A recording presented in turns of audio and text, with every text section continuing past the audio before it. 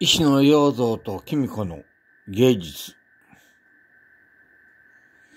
今回は昨日描いた絵を、昨日仕上げた絵を紹介いたします。まず1枚目。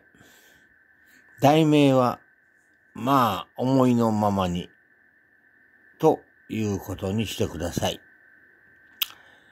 抽象画で説明のしようがありません。思いのままに描いた絵が、こういうことになりました。次は2枚目の説明に移ります。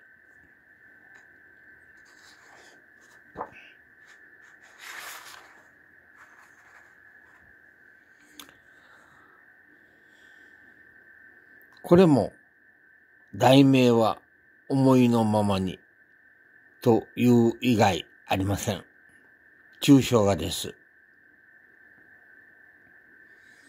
うん、まあ、こういうふうに年齢と関係なしに若々しくカラフルで楽しく描いているところが私の特徴ではないでしょうか。これも題名は思いのままにです。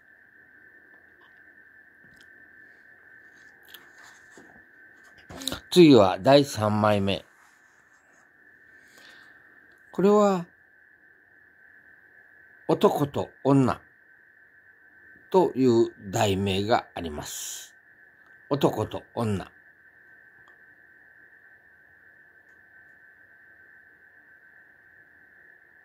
反中症ですね。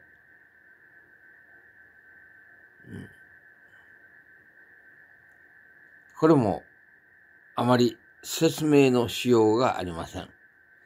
今の3枚、見た人がどう感じてくれるかが問題であって、書いた私は書いただけで、えー、もう皆さんのご判断に任したいと思います。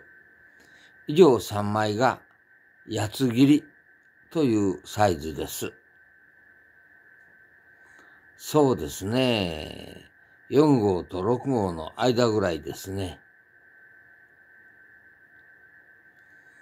次は、あもうちょっと大きい絵で、そうですね。9号から10号の間ぐらい。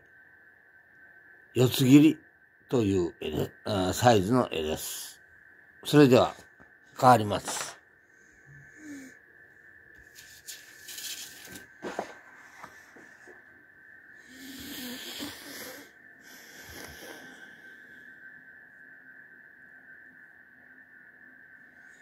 こういう風な絵です。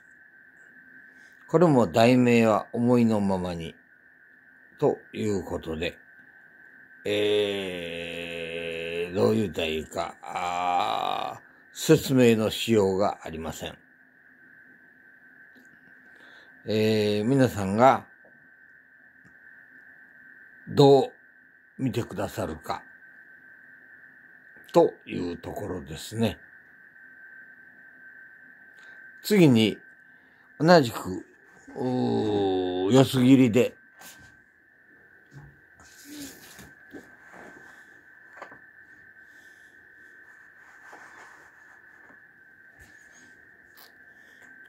これも、思いのままに、という絵で、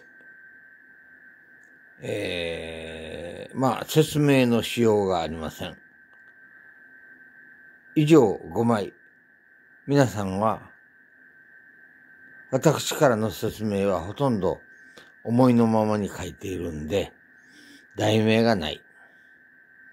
どう取ってくださるか皆さん次第だと思っています。以上、今回の説明を終わりたいと思います。